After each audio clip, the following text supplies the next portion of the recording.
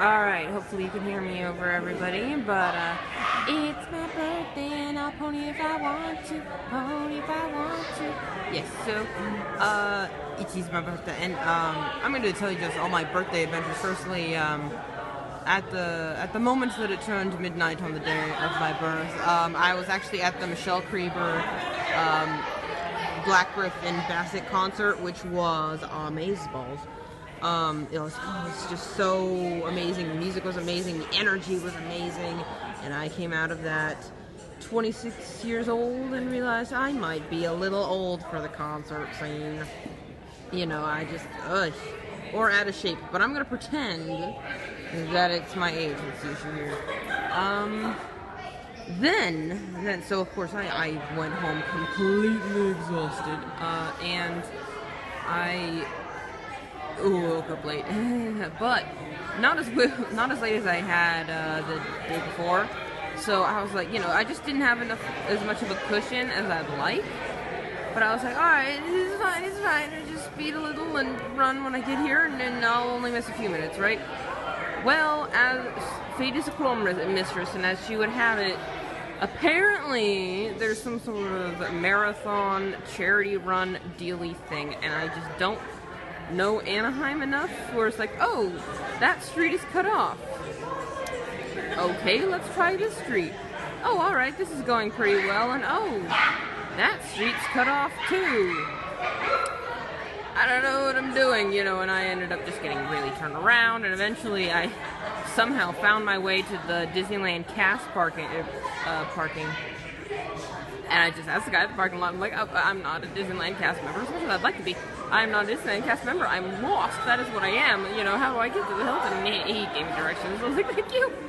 Um, but I did get here like a half an hour late, which is just, which makes me mad because I like I was look I was here five minutes late. And uh, so what I missed half of, sadly, was the female voice actress panels which makes me sad, which makes me sad. But but I got to catch half of it, and I guess that's what matters. Uh, that's where I'm at now. Well, I mean, obviously the panel's over. Um, the Will's around here somewhere. I think that's him over there. But um, I should go say hi to him. Um, I'm currently just chilling here because one, I'm, I'm exhausted still, and uh, two, there's going to be karaoke here in a minute, um, and well, in 15 minutes. Um, which is probably a horrible idea after last night's concert and all that stuff. But hey, I'm, I'm gonna, probably going to do it anyway. I wish I could re- record myself making a fool of myself, but uh, unfortunately I can't. So you will just have to imagine.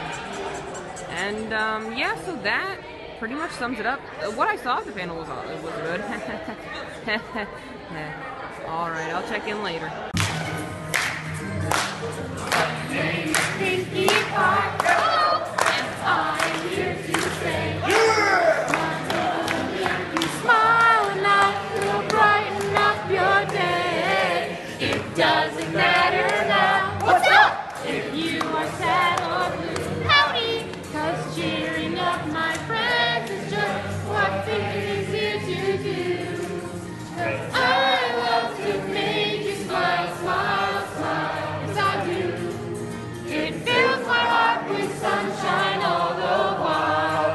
Então, então, Eficaz.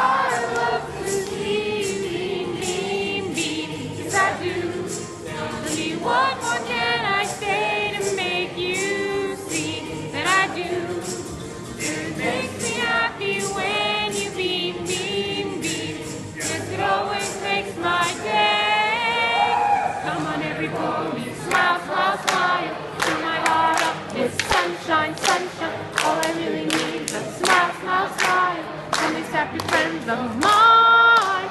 Come on, every pony, smile, smile, smile. Fill my heart up with sunshine, sunshine. All I really need is a smile, smile, smile. From these happy friends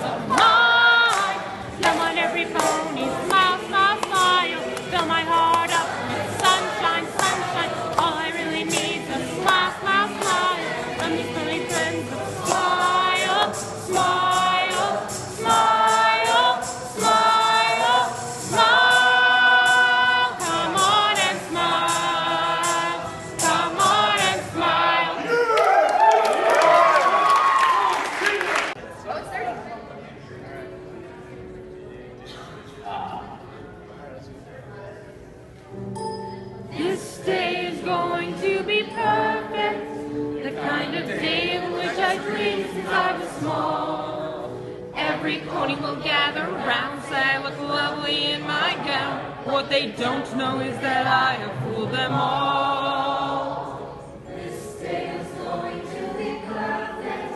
The kind of day which I dreamed since I was small. But instead of having cake with all my friends to celebrate my wedding bells, there may not ring for me at all. I could care less about the dress. I won't partake in any cake vows, I'll be lying when I say that through any kind of weather, I want us to be together. The truth is, I don't care for him at all.